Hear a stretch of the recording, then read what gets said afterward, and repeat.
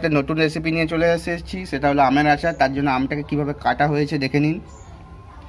এটা মেনলি বারো ঘণ্টা আগে কাটা হয়েছিল এবং সেই সময় যে প্রিপারেশানটা করা হয়েছিল সেটা বলে দিচ্ছি।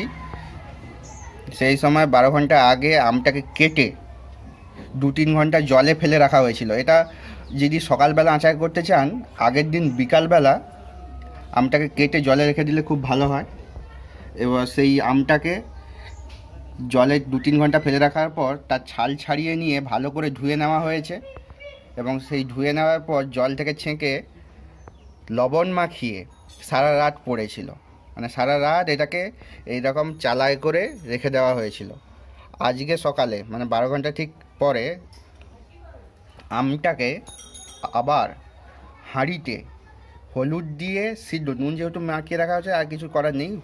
হলুদ দিয়ে সিদ্ধ করে জল ছেঁকে এই চালাই করে রাখা হয়েছে। এরপরে যেটা হতে চলেছে, আচায় কীভাবে হচ্ছে, সেটা দেখবেন, চলুন। আমাদের আচারের প্রিপারেশান শুরু হয়ে গেছে। তার জন্য কড়ায় তেল গরম করতে দেওয়া হয়েছে এবং তাতে কিছু শুকনো লঙ্কা ভেজে নেওয়া হচ্ছে। দেখুন কীভাবে টক মিষ্টি ঝাল আমের আচার হয়। লঙ্কাগুলোকে ভেজে তুলে নিতে হবে প্রথমে কিছু লঙ্কা। তুলে রাখা হচ্ছে ওটাকে ওটাকে গুঁড়ো করে দেওয়া হবে পরে। তেলটা যেহেতু গরম, তাই জন্য একটু দম কমিয়ে রাখা হলো। এবার তেলে আমাদের জিরে দিয়ে দেওয়া হলো, জিরে পুরন এবার কিছু রসুন লম্বা লম্বা করে কুচি করে দেওয়া হয়েছে। কুচি কুচি করে রসুন দেওয়া হয়েছে। এবং সেটা তেলে ভালো করে ভেজে নেওয়া হচ্ছে। একেবারে ভালো। রসুনকে একটুও কাঁচা রাখা যাবে না এখানে। ভালো করে ভেজে নিতে হবে, মুচমুচে করে। দেখতে থাকুন পদ্ধতি।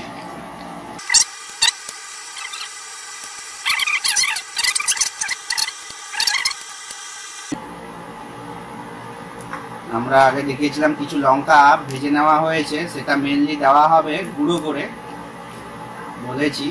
এবার আরও কিছু লঙ্কা দেওয়া হলো, যেটা এইরকম গোটাই থাকবে আচারে। একটু ঝালঝাল একটু টক টক, একটু মিষ্টি মিষ্টি আচার হলে আচার খেতেও ভালো লাগে, স্বাদও ভালো লাগে এই গরমে। আর কিছু কাঁচা লঙ্কা। কাঁচা লঙ্কাগুলোকে অবশ্যই মাঝার থেকে চিড়ে দিতে হবে। নাহলে কাটার সম্ভাবনা থাকে। মা, ক কিলো আমের আচার হচ্ছে আমাদের এটা?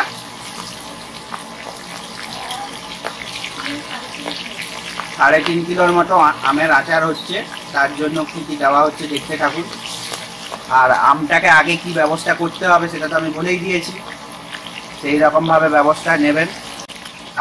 এইরকম ভাবে হয়তো কেউ দেখায় না আমের আচার তৈরি, কিন্তু আমি সম্পূর্ণরূপে দেখাতে চলেছি আপনাদের। এবার দেওয়া হলো যেটা, সেটা হলো আদা বাটা।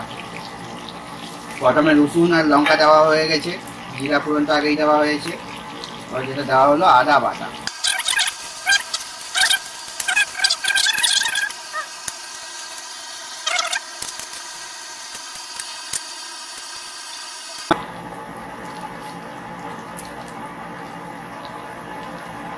এবার মিনিমাম বড় চামচের এক চামচ কালো জিরে দিয়ে দেওয়া হলো।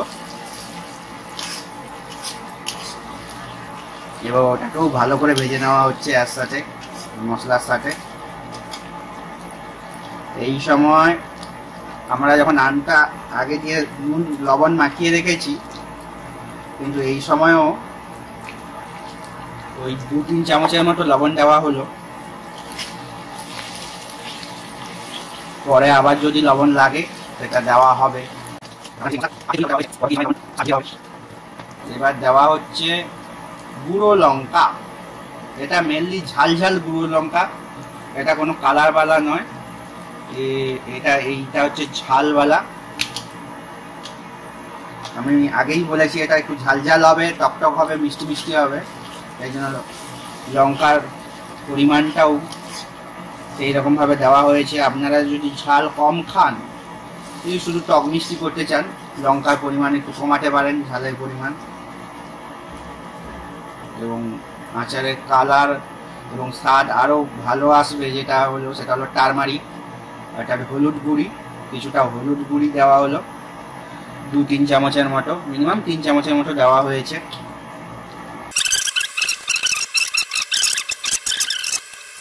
এইবারে আমাদের আম দিয়ে দেওয়া হচ্ছে। সব আম দিয়ে দেওয়া হচ্ছে, দেখুন। যে আমগুলো আগে আপনাদের দেখিয়েছিলাম, সেই আমগুলোই এবার দিয়ে দেওয়া হচ্ছে। দিয়ে ওই মশলার সাথে আমটাকে ভালো করে মাখিয়ে নেওয়া হচ্ছে। আপনারা ভাবতেছেন, এত আম?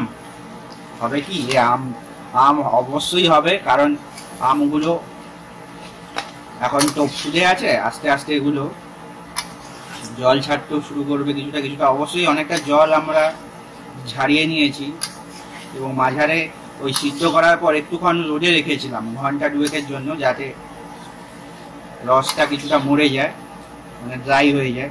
আমটা ড্রাই হয়ে গেলে এই প্রিপারেশনের সময়, অতটা সময় লাগে না।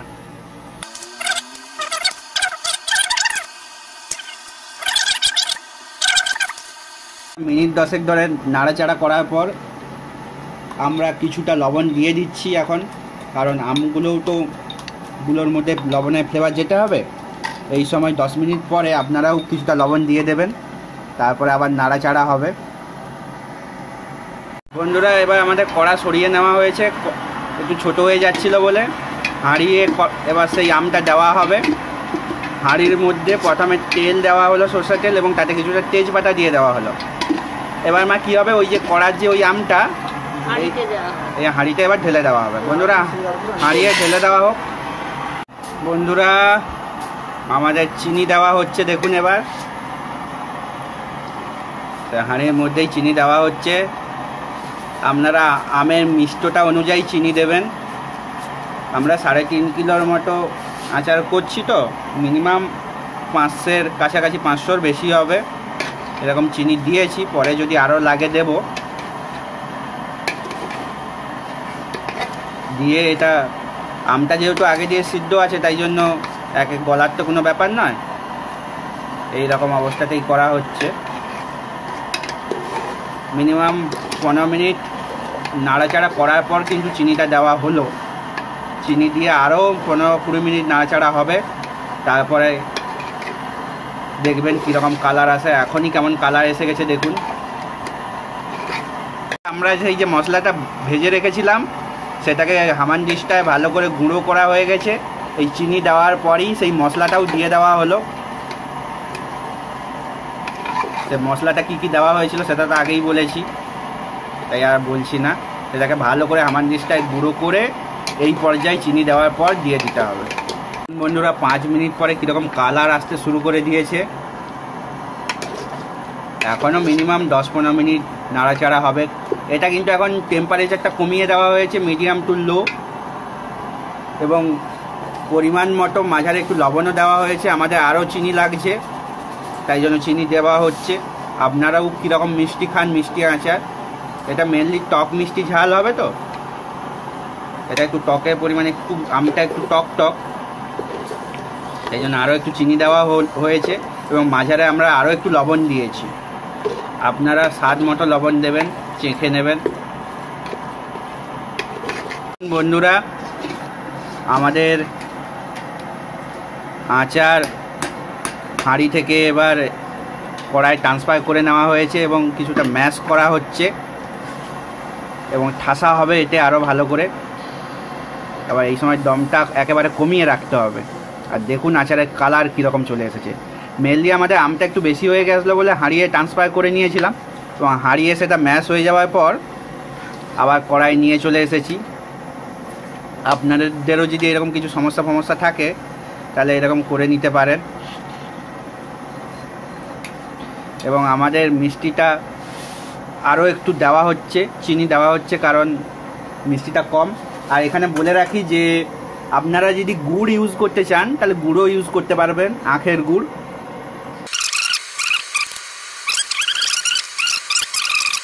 এর মাঝে একটা বিশেষ কথা বলে রাখছি যে, এই আচারে কিন্তু আমরা একেবারে জল ইউজ করিনি। সেই প্রথমে যা আমটাকে সিদ্ধ করে নিয়েছিলাম। আর এখানে চিনিটা অনেকে দেখে মনে হবে বেশি দিচ্ছি, কিন্তু চিনিটা বেশি দেওয়ার কারণ হচ্ছে যে, এখানে জল ইউজ হচ্ছে না তো, এই চিনির দ্বারাই এই আচারটা একটু ঢিলে ঢিলে ভাব আসবে, বদবদা হবে। এখানে মিনিমাম আমাদের আটশোর মতো চিনি লেগে গিয়েছে। আপনারা যদি গুড় দিয়ে ইউজ করেন, গুড় ইউজ করতে পারেন, কিন্তু এটা জল দেবেন না এই আচারে। আমটাকে আগে ওইভাবে সিদ্ধ করে নেবেন, যেভাবে আমি বলেছি, সেইভাবে সিদ্ধ করে নেবেন। বন্ধুরা অন্যদিকে আমাদের শিলে কালো সর্ষে গুঁড়ো করা চলছে এবং কীভাবে পুরো মিহি করে গুঁড়ো করে নেওয়া হচ্ছে পুরো মিহি বলতে একেবারে মিহি নয় একটু হালকা দানা দানা থাকবে তাই না? হ্যাঁ। হ্যাঁ এবং এই এটাকে সম্পূর্ণ শুকনো গুঁড়ো করতে হবে। আর বলব মিক্সিয়ে গুঁড়ো করলে অনেক সময় ঘাম টেম্পারেচারের জন্য ঘাম চলে আসে যদি শিলে গুঁড়ো করতে পারেন সব থেকে ভালো নয় হামান জিসটাই গুঁড়ো করে নেবেন। নাহলে মিক্সিয়ে গরম করলে আর ফ্লেগমেন্টটা বাড়িয়ে যাওয়ার সম্ভাবনা থাকে। এতটা ভালো হয় না। যদি সিলে পারেন তো খুব ভালো নয়তো হামান জিসটাই করে নেবেন। দেখুন এটা মিনিমাম কত শস্য হবে মা? দেড়শো। গ্রামের জন্য সরষা দেড়শো গ্রামের মতো এটা সাড়ে তিন কিলো আমের আচারে দেওয়া হবে। দেখুন গুঁড়ো করা হয়ে গেছে যখন দেওয়া হবে তখন দেখাচ্ছি। একেবারে শেষ পর্যায়ে দেওয়া হবে তো। মানে একেবারে শেষ পর্যায়ে দেওয়া হবে আমাদের এটা, তার জন্য এরকম করে গুঁড়ো করে নিতে হবে। দেখুন বন্ধুরা, এবার আমাদের সর্ষে দেওয়া হচ্ছে। এবার প্রায় শেষ মুহূর্তে এসে, আর এখানে বলে রাখি, সর্ষেটা গুঁড়ো করার আগে রোদে দিয়ে নেবেন বা কড়ায় হালকা করে নেড়ে নেবেন। তা নাহলে এই কাঁচা সর্ষে ঠিক করে গুঁড়ো করা যাবে না। আর এই যে সর্ষে দেওয়া হলো, এই সর্ষে দেওয়ার পর মিনিমাম কুড়ি দিন, পনেরো থেকে কুড়ি দিন একে খাওয়া যাবে না। সর্ষে যত পচবে, তত আচারের ফ্লেভার বাড়বে এবং জানেন কাঁচা তেল দিতে হয় আচারে, সেই সময় কাঁচা তেলও দেওয়া হবে। আমাদের আচারে একটু তেল কম পড়ে গেছে বলতে শেষ মুহূর্তেও একটু তেল দেওয়া হচ্ছে। এবং যখন আচারে মানে জারে ভরা হবে, সেই সময়ও তেল দেওয়া হবে। এখন এই সর্ষেটা মাখাবার তরে ভালো করে, প্রায় আচার হয়ে গেছে। তবুও দেওয়া হচ্ছে কিছুটা তেল, তখন আবার দেওয়া হবে। দেখুন, সর্ষেও দেওয়া হচ্ছে এবং ভালো করে মেখে নেওয়া হচ্ছে। আমাদের মিনিমাম আড়াইশো সর্ষার মধ্যে দুশো সর্ষা দেওয়া হলো। এবং ভালো করে সেটা মাখিয়ে নেওয়া হচ্ছে। চলুন বন্ধুরা, এবার যখন জারে ঢোকানো হবে, হয়ে তো গেছে, এটা ভালো করে মাখিয়ে নেওয়ার পরই জারে ঢুকিয়ে মিনিমাম কুড়ি দিন এটা হাত দেওয়া যাবে না। এই সর্ষে দেওয়ার সঙ্গে সঙ্গে কি ফ্লেভার এসেছে বন্ধুরা? ভাষায় বোঝানো যাবে না। এখন মিনিমাম তো আর খাওয়া যাবে না এটা। মিনিমাম পনেরো কুড়ি দিন এটা এখন কাঁচের জারে পুড়ে। বলব প্রেফার করব। কাঁচের জার ভেঙে যাওয়ার সম্ভাবনা থাকলেও কাঁচের জারে পুড়েই রোদে রাখবেন। দেখুন বন্ধুরা, আচারের টেক্সচার কীরকম হয়ে গেছে। বারোটার সময় আচারটা তৈরি হয়েছিল, এখন চারটা বাজে। প্রায় চার ঘণ্টা ঠান্ডা করতে রাখা হয়েছিল, এবার জারে ঢোকানো হবে। কারণ গরম অবস্থায় জারে ঢোকানো যায় না। চলুন বন্ধুরা এবার জারে ঢোকানো যাক। কীরকমভাবে জারে ঢোকানো হয় সেটা দেখে নেবেন চলুন। উফ কালার যা এসেছে না আর গন্ধ যা উঠেছে মারাত্মক। দেখুন বন্ধুরা এবার আমাদের জারে আচার ঢুকিয়ে দেওয়া হচ্ছে। মা কি করেছে? প্রথমে আচারে জারের মধ্যে তেল দিয়ে দিয়েছ? সর্ষে তেল। এবার এই যে আচার তৈরি দেখেছিলাম সেই আচার বা আস্তে আস্তে করে ঠান্ডা হয়ে গেছে একেবারে, সেটা ঢুকিয়ে দেওয়া হচ্ছে। পুরো একদম জার ভর্তি করেই ঢুকিয়ে দেওয়া হবে। এবার ঢুকিয়ে দেওয়ার পর কুড়ি দিন খাওয়া হবে না। বলেছি তার কারণ আগেই, কেন খাওয়া হবে না? কারণ সর্ষেটা পচবে। দেখতে থাকুন। কীরকম ভাবে ঢোকায়, প্রায় অর্ধেকটা। এইরকম ভাবেই মানে প্রথমে ওই যে একবার তেল দিলে। আ গন্ধ যা উঠেছে না আরও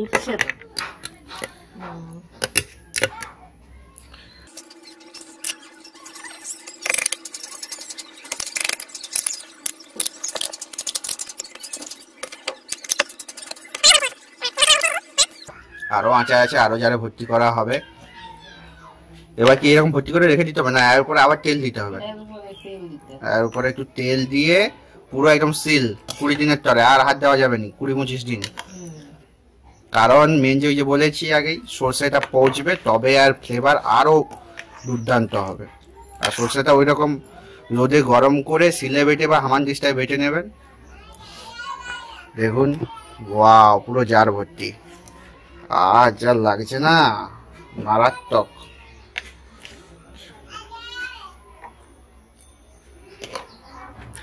বন্ধুরা, আপনাদের আচার তৈরি এবং ভর্তির পদ্ধতি একেবারে দেখিয়ে দিলাম। কেমন লাগল কমেন্ট বক্সে লিখে জানাবেন। আর যদি ভালো লেগে থাকে, অবশ্যই লাইক শেয়ার সাবস্ক্রাইব করবেন। দেখে নিন লাস্ট অবধি তেল দিয়ে দেওয়া হলো উপরে, এবার চাপা লাগিয়ে দেওয়া হবে। Bye bye